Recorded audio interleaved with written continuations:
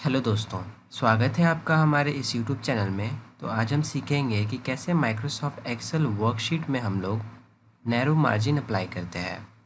तो इसके लिए हम लोग सबसे पहले पेज लेआउट में क्लिक करेंगे और इस पेज सेटअप ग्रुप में दोस्तों फ़र्स्ट ऑप्शन दिखेगा मार्जिनस इसमें क्लिक करेंगे दोस्तों और आप लास्ट ऑप्शन देख सकते हैं मार्जिनस दोस्तों, आप फिगर से साफ़ देख सकते हैं कि ये जो मार्जिन है लेफ़्ट राइट टॉप बॉटम ये नॉर्मल और नैरो में कितना डिफरेंस है।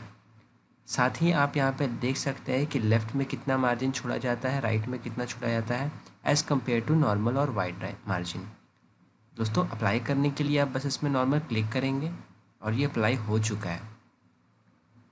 चेक करने के लिए आप कंट्रोल प्लस पी करके प्रिंट प्रीव्यू ले सकते हैं।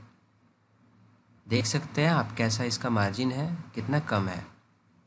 उम्मीद करता हूँ वीडियो आपको पसंद आया होगा। बहुत बहुत धन्यवाद।